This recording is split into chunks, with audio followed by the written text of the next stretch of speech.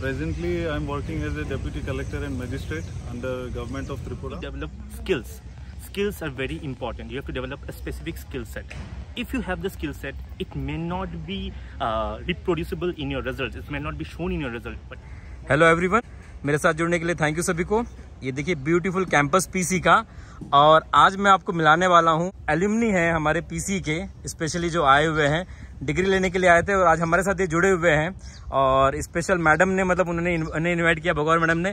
Thank you ज़रूर बोलिएगा। और ये आज अपने अपने अनुभव शेयर करेंगे, जो उन्होंने अपने ज़िंदगी में सामने बढ़ने के लिए मतलब जो भी काम किया हुआ है और जो भी उन्होंने किया हुआ है। और साथ ही साथ आपको कुछ मोटिवेशनल वर्ड्स देंगे ताकि आप भी अपनी ज़िंदगी में कुछ बेहतर कर पाओ। तो वन बाय वन हम इनसे इंट्रोडक्शन लेते हैं। सर, आप कुछ बोलना चाहेंगे? Hello my name is Abhijit Paul Chaudhary मैं 2012 का बैच का था। And electronics and telecommunication department से। तो मैं अभी फ़िलहाल रूरल डेवलपमेंट डिपार्टमेंट में हूँ as a district GIS nodal officer पिछले नौ साल से मैं वहाँ पे काम कर रहा हूँ। सो so, मैं यही बताना चाहता हूँ कि लाइक uh, जो भी आप डिसीज़न लोगे don't allow somebody to force you कि आपको यही करना है या फिर यही करना है। जो आप सुनो आप कहाँ पे इंटरेस्ट हो देखो कौन सा डिपार्टमेंट या फिर कौन से फ़ील्ड में आप इंटरेस्ट हो आप उधर ही जाओ and I think you will succeed thank you sir thank you so much sir अब यहाँ पर इनसे भी हम ले लेते हैं कि फीडबैक की किस तरह का इनका भी अनुभव रहा है सर प्लीज़ मेरा नाम अरिजीत पाल है। uh, मैं 2016 बैच इलेक्ट्रॉनिक्स से हूँ। Presently I am working as a deputy collector and magistrate under government of Tripura अभी स्टूडेंट से uh, मुझे यही कहना है जैसे uh, सर ने कहा है जिस चीज़ में मन लगे आप वही कीजिए ठीक है? इमिडिएटली डिग्री के बाद ही कि लाइफ में कुछ जो आपका टारगेट है वो आपको अचीव हो जाएगा ऐसा नहीं है। You have to keep experimenting हर कोई अपने मंजिल तक पहले शॉट में दूसरे शॉट में नहीं पहुँचता है। तो और ऐसा भी मत सोचिए कि आपके पास टाइम नहीं है। The next seven eight years are very crucial इसमें आप टोटली प्लान कीजिए अलग अलग चीज़ें आप एक्सपीरियंस uh, कीजिए एक्सपेरिमेंट कीजिए। And while doing it please take care of your health that is a very important thing financial literacy वो भी बहुत ज़रूरी है। आजकल के स्टूडेंट्स के लिए हम खर्चा बहुत ज़्यादा करते हैं बट किस तरह से अपने फाइनेंसिस को प्लान करें कैश फ्लो को मैनेज करें, ये सब अभी से सीखना ज़रूरी है। So that will be all and बिल्कुल, अगर आप कुछ बनना चाहते हैं, सबसे पहले tell yourself every day कि मैं ये बनना चाहता हूँ, मैं ये बन जाऊँगा, मैं अपने आप को ये बनते हुए देख रहा हूँ। And it will definitely come to pass अच्छा सर एक क्वेश्चन बेसिकली आप इलेक्ट्रॉनिक्स इंजीनियर हैं। उसके बावजूद आप मतलब कलेक्टर इस पे है इस पोस्ट पर है तो ये कैसे फ़ील्ड आपने चूज़ किया? ये एक्चुअली आफ्टर इंजीनियरिंग मुझे लगा कि मुझे आ, कुछ और करना चाहिए। अच्छा ये आपकी रुचि थी इंटरेस्ट था जिसके अंदर आप गए? जी जी। Actually public relation and public service में आ, पहले से ही थोड़ा सा एक्स्ट्रा करिकुलर एंड ये हमारा आ, एक मोटिवेशन था आ, एक सर्विस के प्रति। तो इसलिए इस लाइन एंड अगर ये ट्रेनिंग अगर ये जो सिलेबस जो सब कुछ है एक्चुअली इंजीनियरिंग के बाद मैंने दो तीन महीना सारे डिसिप्लिन में क्या क्या कर सकते हैं, सारे ऑप्शन मैंने देखा। Finally this one appeal to me और मुझे लगा कि next twenty five thirty years मैं इसमें काम कर सकता हूँ। मुझे इंटरेस्ट है तो आई वेंट विथ इट अच्छा thank you sir for this guidance अभी हम चलते हैं नेक्स्ट हमारे एलुमनी के पास sir please hello my name is Bilwadal and मैं 2011 पास आउट हूँ इलेक्ट्रॉनिक्स एंड टेलीकॉम करेंटली मैं एक स्पेशलिस्ट इन आईटी ऑप्स हूँ सी एन एच इंडस्ट्रियल में जॉब कर रहा हूँ. तो uh, मेरा यही बोलना है कि जब हम 2011 पास आउट हुए थे इंटरनेट उतना नहीं था. नाउ आज की जगह में इंटरनेट है हमें अपॉर्चुनिटीज़ नहीं मिली थी हमें बहुत टाइम लगा कुछ चीज़ सीखने में आगे बढ़ने में। नाउ यू हैव इंटरनेट सो मैं बोलता हूँ कि इंटरनेट का इस्तेमाल करो। एंड फ़र्स्ट ईयर से जो भी आता है यू शुड स्टार्ट लर्निंग ताकि जब फाइनल ईयर आपका ख़त्म हो you have a good job in your hand अच्छा thank you so much sir आपके इन्फॉर्मेशन के लिए। अभी हम चलते हैं नेक्स्ट एल्यूमनी के पास sir please Hi, my name is Raju Devnath and I have completed my uh, bachelor's of engineering in the year 2014 in electronics and telecommunication and uh, after that uh, I, I, I, I, plan to move to IT sector so I prepared for PG diploma. And uh, I, I have completed it from Mumbai CDEC actually I have done it uh, from CDEC Institute.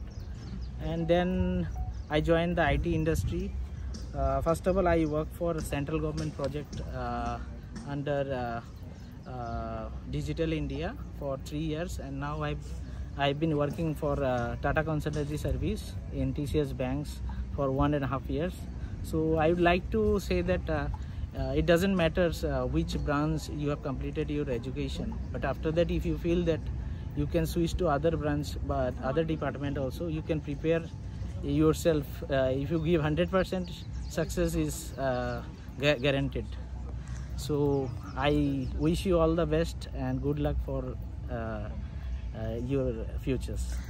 Thank you sir for this your encouragement words thank you so much चलिए जुड़ते हैं next alumni के साथ Uh, hi, uh, I'm Nilay Datta. Uh, I'm from 2014 batch, uh, pass out, and uh, currently I work as a uh, full stack developer in CGI. And before that, I was in Usha. Just a little bit uh, giving a background because like uh, I worked in sales and mechanical, and after that I switched to IT. So I'd like to say just three things. Uh, like the common questions that we have as when we are students in engineering. So like one is why engineering? So the first thing it, I would like to say like it doesn't matter which branch you are in, but like uh, what engineering actually tries to do is like to get you develop the idea where you actually take a problem, understand the problem, analyze it, and then devise a rule or a algorithm how to solve the problem. So that is the primary objective of algorithm, not the how many subjects you have, like five or six, or how much mark you're getting, 60, 70, 80. It doesn't matter at the end of the in the end of the day. That is the first thing. Uh, why you're doing engineering. Second is uh, every as a freshers, like even we have been freshers long before, and every fresher, even in industry today, we hire a lot of people, and everybody is like, I want a great job with a great salary. But I would like to uh, question one thing to you that is, why do you want that job? Or why will i give you that job?